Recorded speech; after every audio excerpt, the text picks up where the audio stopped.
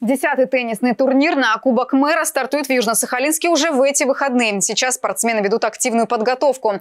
На корты выйдут представители региона, а также гости из Владивостока, Хабаровска, Находки, Уссурийска и Москвы. Теннисисты будут состязаться в одиночном и парном разрядах. Кубок пройдет в два этапа. В первом участие примут дети от 6 лет. Он начнется 19 августа и продлится до 31 числа. Далее в игру вступят взрослые, а также ветераны спорта, участники от 55 лет. У нас вот на самом деле, чем еще отличается этот турнир, что к нам впервые приедут дети. К нам приедут дети с э, дальневосточных городов. Если ранее у нас дети между собой только играли, то сейчас это турнир всероссийский, э, РТТ, то есть дети получат квалификацию, дети получат рейтинговые очки. Это такой всероссийские соревнования, то есть у нас состоятся. В этом году особым гостем турнира станет именитый спортсмен. Его личность пока держат в секрете. Имя озвучат при подведении итогов первого этапа соревнований.